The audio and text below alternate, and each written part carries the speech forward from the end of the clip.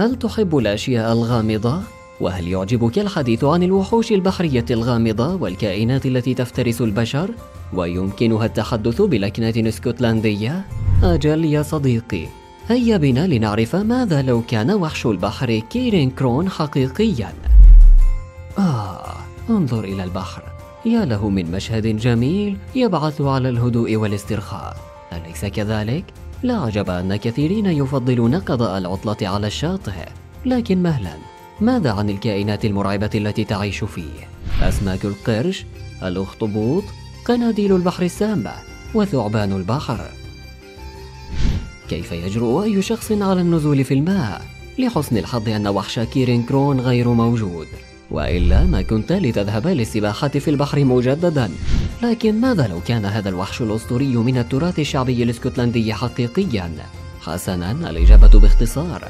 سيغدو عالمنا مكانا مرعبا وسيرتفع سعر المأكولات البحرية. واصل المشاهدة لتعرف كل التفاصيل المخيفة. ولكن قبل أن نستكشف الوحوش والكائنات البحرية الغامضة ندعوك للاشتراك بقناتنا وتفعيل الإشعارات كي لا تفوت أيا من الفيديوهات المثيرة والممتعة التي ننشرها يوميا على الجانب المشرق من الحياة. حسنا لنعد إلى الوحوش الجديرة بالظهور في الكوابيس. أولا لنراجع بعض الأساسيات. يصف التراث الشعبي الإسكتلندي وحش كيرين كرون أو الصدر الرمادي. كوحش بحري عملاق دون تحديد دقيق لطوله أو وزنه. إنه وحش أسطوري كما نعرف. لكن الأسطورة الجيلية القديمة تقول سبع أسماك رينجا تشبع سمكة سلمون وسبع أسماك سلمون تشبع فقمة وسبع فقمات تشبع حوتا وسبعة حيتان تشبع الكيرين كرون هل استوعبت ذلك؟ هذا الوحش يمكنه التهام سبعة حيتان كاملة ولكن مهلا هذا ليس أكثر ما يخيف بشأنه. تخيل لو زار وحش كيرين كرون مطعمك المخصص للمأكولات البحرية. في زيارة واحدة فقط يمكنه التهام كل مخزونك من الطعام ليسبب إفلاسك في نفس الليلة. معظم الكائنات البحرية لا تتخفى عندما يتعلق الأمر بإظهار نفوذها لكن الكيرين كرون يفضل مراوغة ضحاياه فقد تخيل ما يلي أنت على متن قارب تستمتع بالصيد في يوم جميل تحت الشمس المشرقة والطيور تغرد وكنت موفقا للغاية في الصيد وجمعت حصيلة كبيرة من الأسماك. ولكن في لحظة واحدة ودون سابق إنذار تجد إحدى هذه الأسماك التي تبدو طبيعية تتحول إلى وحش عملاق. حتى قبل أن تدرك ما يحدث يا إلهي إنه ذلك الوحش. أجل يستطيع الكيرين كرون أن يغير شكله وقت ما يشاء.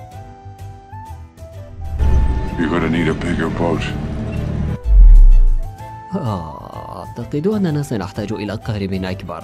والآن لنرى ما سيحدث إذا حولنا الأسطورة إلى حقيقة.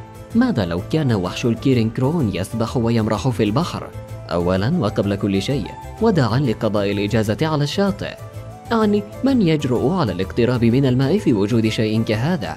لن يفعل ذلك سوى شخص مهووس بالإثارة أو شخص كانت أمنيته الأخيرة قبل الموت أن ينزل البحر.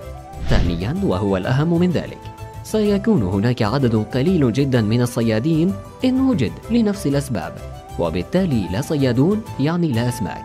سيكون هذا الوضع صعبا للغاية بالنسبة إلى دول مثل اليابان. ونحن جميعا نعرف مدى حبهم للمأكولات البحرية. وداعا للسوشي. إحصائيا يتناول الشخص العادي هناك أكثر من 70 كيلوغراما من المأكولات البحرية سنويا. ستتضرر اليابان بشدة جراء توقف صناعة الصيد. كما تعلم ليس لديهم مساحة أرض كافية لإنتاج الكمية المطلوبة من المحاصيل. يحتمل أن تلجأ بقية دول العالم بدورها إلى التوسع في زراعة الخضروات واللحوم لتتمكن من إطعام سكانها. وفي هذا الوقت ستتحول الأسماك بسرعة من وجبة عادية إلى طعام للصفوة.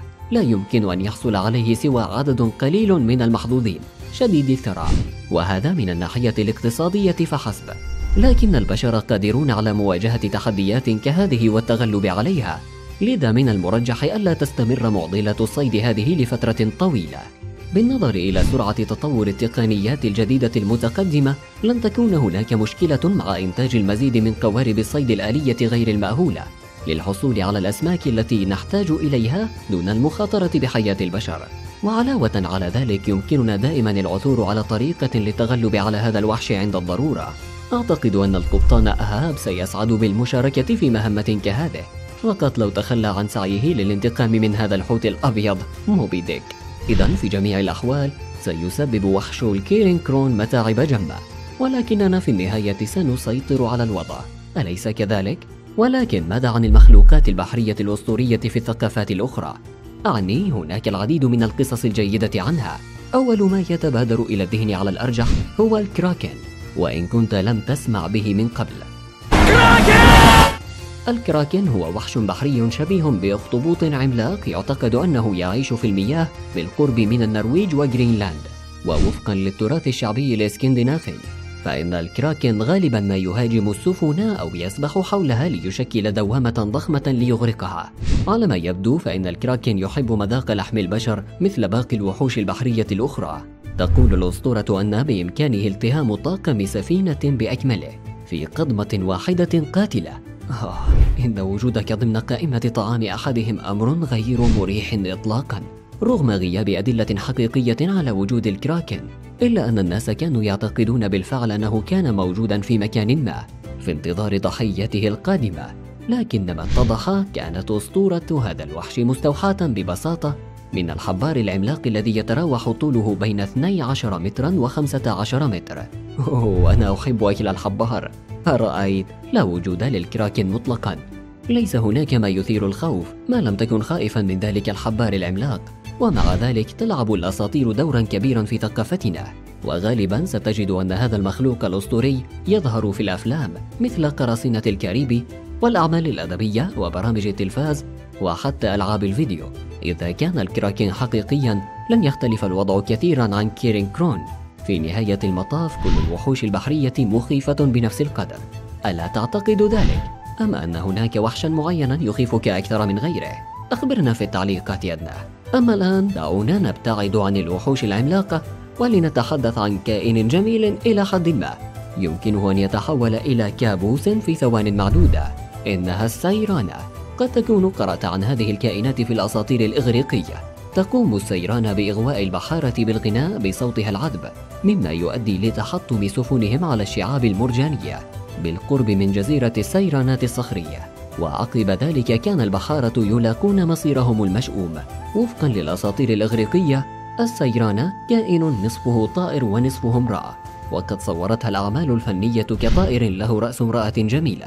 ومع ذلك فقد وصفها بعض الشعراء بأن لديها أرجل طائر فقط وأنها تجيد العزف على الآلات الموسيقية. وخاصة القيثارة. وربما المزمار أيضا من يدري.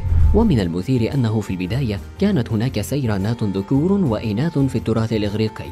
ولكن بمرور الوقت تلاشت صورة السيرانات الذكور إلى أن اندثرت تماما في النهاية.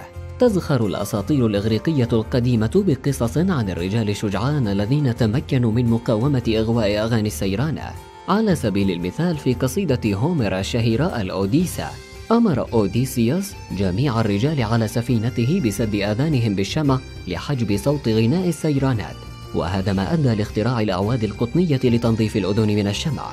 لا كنت أمزح فحسب. ولكن ماذا لو افترضنا أن السيرانة موجودة بالفعل اليوم؟ ما رأيك؟ هل يمكن اعتبارها خطرا؟ مثل الكيرين كرون أو الكراكن. على الأقل لديها شكل أجمل. في كلتا الحالتين لن يؤثر وجود السيرانة على عالمنا بقدر كبير مثل تلك الوحوش البشعة العملاقة. في النهاية كل ما يمكنها فعله هو إغواء الأشخاص بالقرب من جزيرتها. لذلك يمكن بسهولة تحديدها كمنطقة محظورة على الخريطة حتى يراها الجميع. وتم حل المشكلة. لابد أنك تنتظر بفارغ الصبر سماع قصة هذا الكائن الأسطوري. اطمئن لم ننسى نيسي. كما بدأنا من اسكتلندا سنعود إليها مجددا. لنختم الموضوع بهذا الوحش الكلاسيكي.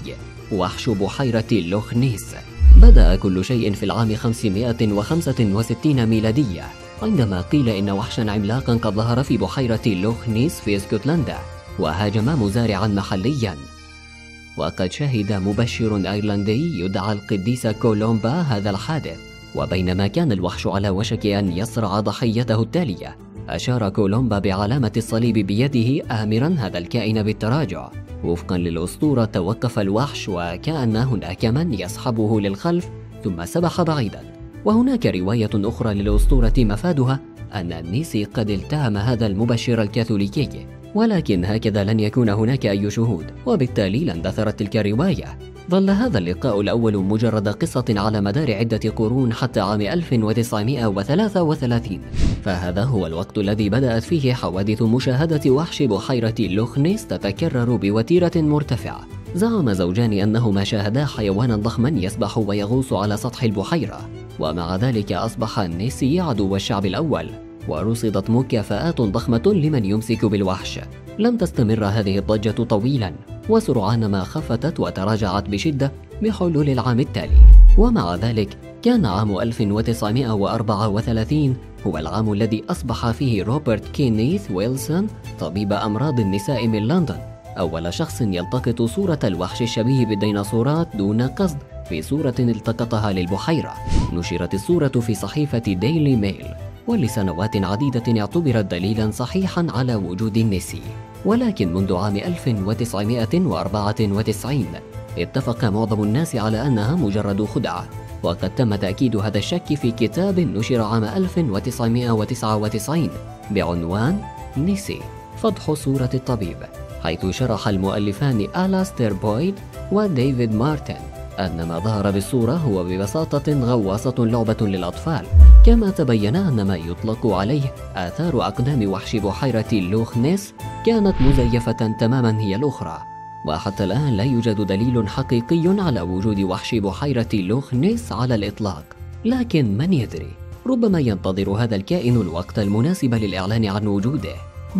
ربما حفلة موسيقية ندعو المطربة ليدي جاجا لإقامتها. يمكنني أن أتخيل هذا الثنائي الآن. نيسي وجاجا يغنيان سويا أغنية Poker Face والآن حان دورك. اختر أي مخلوق أسطوري تريده وأخبرنا في التعليقات ما العواقب التي تعتقد أننا سنواجهها إذا كان هذا المخلوق حقيقيا بالفعل. كلما شاركت بالمزيد من النظريات كان ذلك أفضل. إذا استمتعت بهذا الفيديو اضغط على أعجبني وشاركه مع أصدقائك. ولتستمتع أكثر على الجانب المشرق فقط اضغط على زر الاشتراك. وانضم إلينا. إلى اللقاء.